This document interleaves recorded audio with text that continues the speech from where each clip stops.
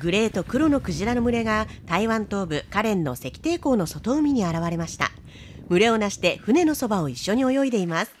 楕円形の頭はまるでパパイヤのような形です。この群れは見物客からパパイヤクジラと名付けられました。その中に珍しいアルビノのクジラの姿もありました。まるで精霊が海の中を泳いでいるかのようです。これは8月7日ホエールウォッチング船が出港した時に撮影された驚きの映像です。後にこのクジラは以前会ったことがある古い友人であることが分かりました。近くに来た。なんて綺麗なんだ。珍しい白いパパイヤ頭のクジラを目撃しみんな大興奮。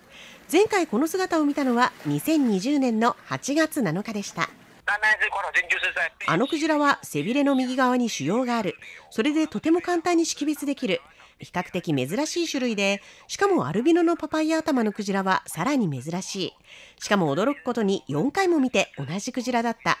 同じ月、同じ日に古い友人との再会に船長も珍しいことだと驚いていました。最近の太平洋はとても賑やかです。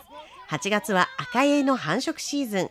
求愛の時に見せる海中でお互いに追いかけ合う姿が同様にカメラに収められ、観光客たちはとても満足した様子でした。Thank you.